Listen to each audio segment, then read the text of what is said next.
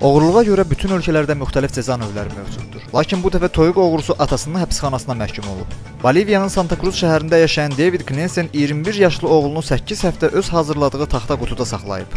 Lakin həbsxanadan fərqli olaraq ata oğluna nə tualetə, nə də ki hamama getməyə icazə verməyib.